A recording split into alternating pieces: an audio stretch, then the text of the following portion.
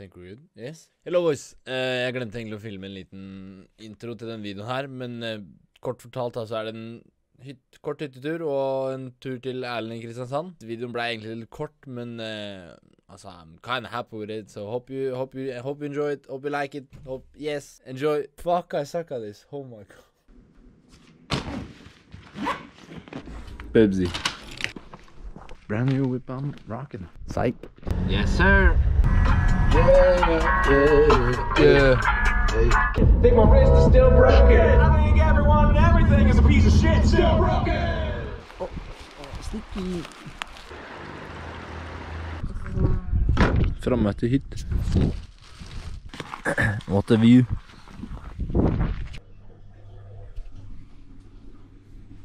Very nice. Top Topptur today, boys. Let's go. Det var ikke så kaldt. Jeg tror jeg skal ta med jakka en til. In case it rains.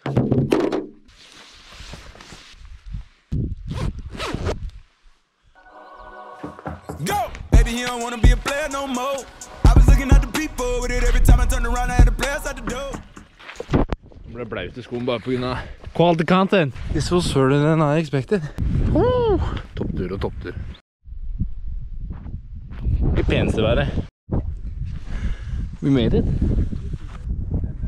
I got 15 beds, we ain't laying on the 15 beds. I done hit a lot of free goals. Nigga get safe. Safe for you to say that I'm a hoe. I'm out the game, I'm not a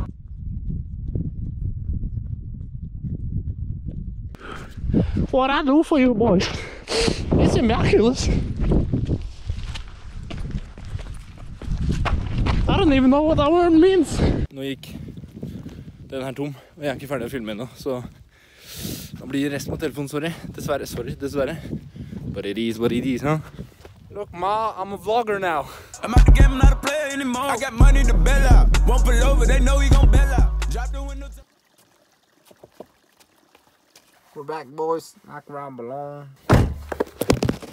Sånn, da var det en short hyttetur completed. Jeg må kanskje åpne bilen først.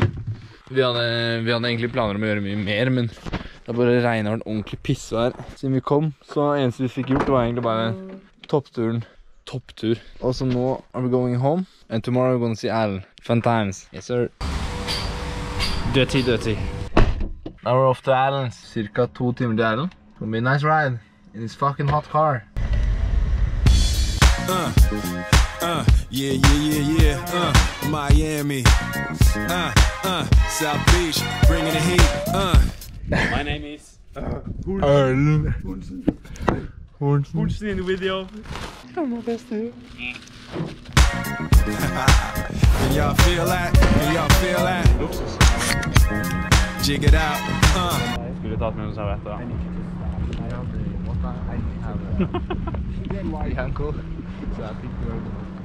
I didn't it's a great day off. I am in the place where I come let go. In Miami, the base and the sunset low. Every day like a Mardi Gras. Everybody party all day. No work, all play, okay? So we sip a little.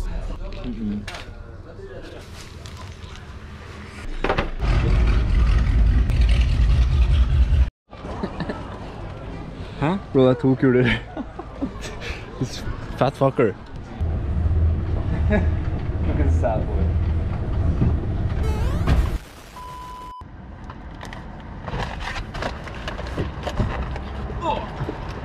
boys, da har vi vært hos Erlend. Down in Kristiansand. And now I'm gonna head home. Vent da, let me put up my windows so you can actually hear me.